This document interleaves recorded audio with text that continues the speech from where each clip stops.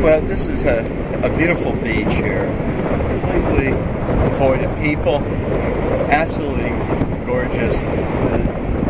Very nice, well-developed primary dune dominated by this beach grass. Uh, and I'm curious to see what's on the other side of this dune. It might prove it to be interesting.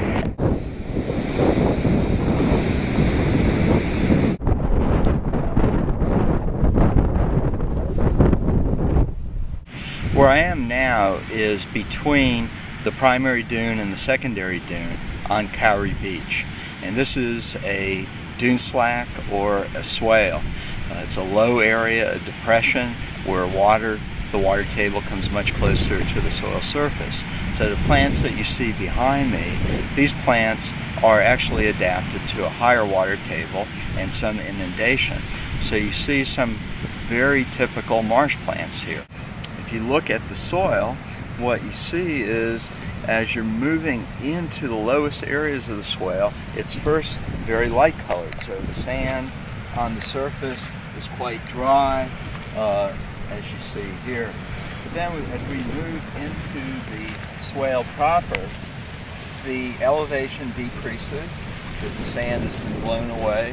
The water table is closer to the soil, and this is where we pick up the plants that are adapted to more flooded conditions. And now if we look at the soil, well you see the soil is black.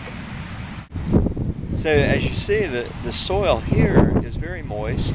It not only contains sand, but it has a lot of organic matter as well from the, uh, uh, the plant production of, of leaves and roots that accumulate over, over time after they die. So this is a completely different habitat than the dune habitat. And so the species are completely different. We have this plant, which is a species of paspalum, which is a flood-tolerant grass.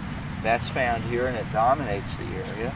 We also have this sedge, which is very common as well in more flooded areas.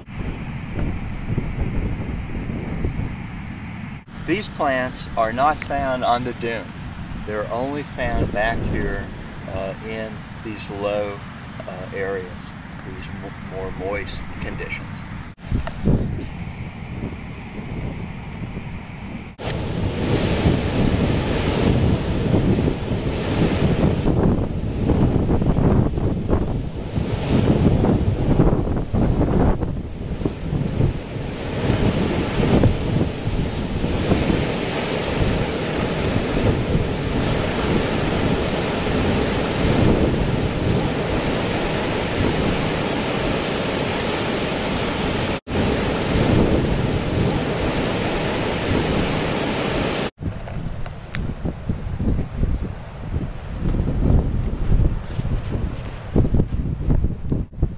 Got is this is between the secondary dune and the tertiary dune. There's a huge deflation plain, and it looks like it's a it's a place where some salt water may enter.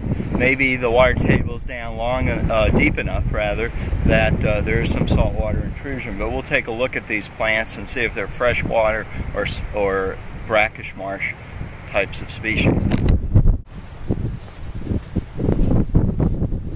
This is a tidal channel uh, that probably enters the beach at some point uh, down here. And so it's bringing in salt water in between the, this dune field, this secondary and this tertiary dune. Uh, and uh, there is salt marsh vegetation growing on the sides of this, this island.